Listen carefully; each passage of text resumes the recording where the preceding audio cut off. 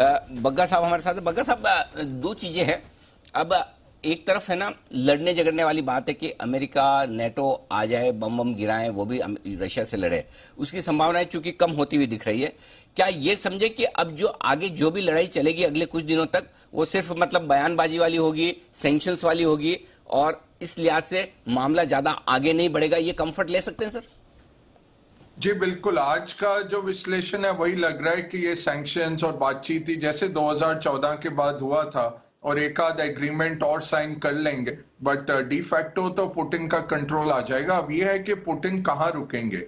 Uh, क्या वो एक uh, uh, एक घेरा बना लेंगे यूक्रेन में कि अपना रशियन पार्ट्स में टोटली काबू में कर लेंगे? या जो जैसे चर्नोबिल उन्होंने कल अपने काबू में कर लिया। चर्नोबिल था जहाँ पे न्यूक्लियर एक्सप्लोजन हुआ था प्लांट में और ये पुटिन ने फॉल्स न्यूज़ फैला दी थी कि वो न्यूक्लियर वेपन बनाने जा रहे हैं। तो चर्नोबिल पे इन्होंने कब्जा कर लिया। तो हो सकता है कॉरिडोर बना दें यूक्रेन के थ्रू जो रशियन रशिया के हाथ में आ जाए। बेलारूस तो इनके हाथ में है। टोटली तीस हज़ार सैनिक एक्सरसाइज करने गए थे। वहाँ पे अब बोल दिया कि वो इंडेफिनेटली रहेंगे।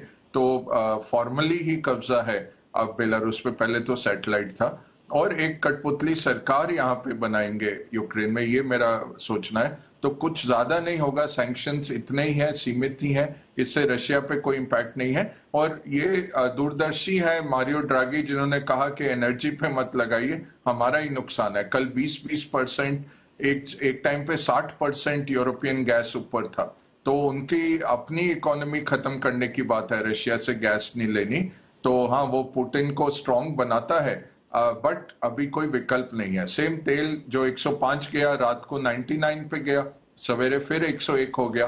तो ये पचानवे से 105 का जो तेल का राइस है, ये टोटली जियोपॉलिटिकल है। इसमें थोड़ा सा अगर हम देखते हैं कि स्टेबिलिटी आती है तो तेल थोड़ा और नीचे आ जाएगा। बट रशिया का हमारे पास विकल्प नहीं है। दस मिलियन बैरल दिन के जो वो बना रहे हैं दुनिया के पास है नहीं वो बैरल एटमोस्ट सऊदी तीन मिलियन बैरल एक्स्ट्रा बना सकते हैं। बट वो तभी बनाएँगे जब बाइडन बात करेंगे उनसे। और वो ट्रंप कर पाते थे। बाइडन ने तो फ़ोन भी नहीं लिया उनके युवराज का अभी तक।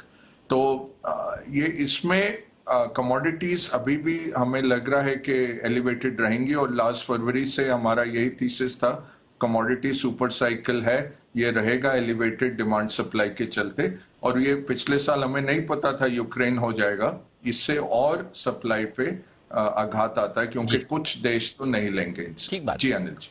बिल्कुल सर परफेक्ट है। तो ये आपके लिए पूरा पूरा आउटलुक है और आप और हम भले ही शुक्रवार के बाद शनिवार रविवार को आराम करें और आराम भी इसलिए कर सकते हैं कि वो होते हैं ना दो तरह से एक तो हमारे देश की सैनिक जो खड़े हैं सीमा पे हम आराम से यहाँ बैठकर शो करते हैं।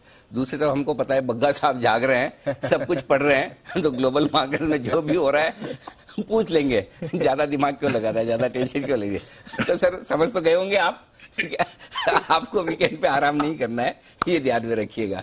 बिल्कुल फिर जल्दी मुलाकात होगी आपसे। बहुत बहुत धन्यवाद सर। समय देने के लिए पूरी की पूरी राय देने के लिए।